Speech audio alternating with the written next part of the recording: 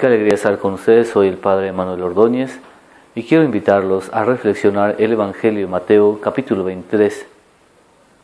Quisiera hacer una reflexión de este Evangelio, especialmente en unas palabras claves. Primero, la viña. Segundo, los frutos. Y tercero, el querer del Señor. Primero que todo, la viña. Todos y cada uno de nosotros formamos una viña.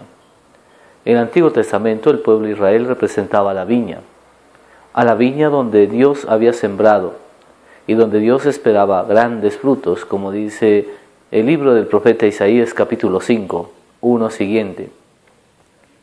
También la viña, posteriormente el Nuevo Testamento, y hasta hoy podríamos decir que es la iglesia.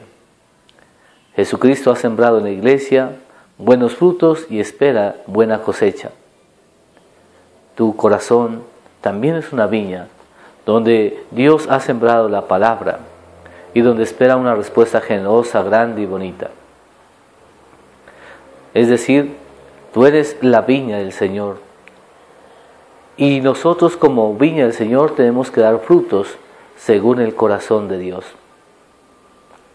Cuando nos llenamos de humildad, de sencillez, de amor y de entrega al camino de Dios, nuestra, viña siempre va a dar frutos, frutos según el corazón del Señor. Frutos de bondad, de paz, armonía, tranquilidad y sobre todo, a pesar que la viña exista muerte, nosotros siempre daremos vida. Así como a José, sus hermanos quisieron matarlo, y así como a Jesús, los hombres de ese tiempo lo quisieron matar, siempre dio frutos de vida. Resucitó entre los muertos y está sentado a la derecha de Dios Padre.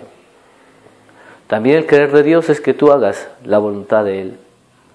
A pesar que tengas persecuciones, a pesar que te hagan la vida imposible, a pesar que te critiquen, a pesar que te ataquen, a pesar que hablen mal de ti, inventen cosas contra ti, recuerda que tú eres la viña del Señor no puedes llenar tu corazón de violencia, de odio, de rencor, de difamación.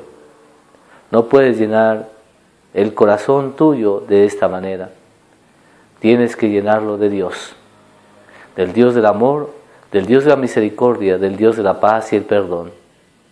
Recuerda siempre que tú debes vivir ante la presencia de Dios. Que el Dios del amor y la misericordia te bendiga hoy siempre en nombre del Padre, del Hijo y del Espíritu Santo. Amén.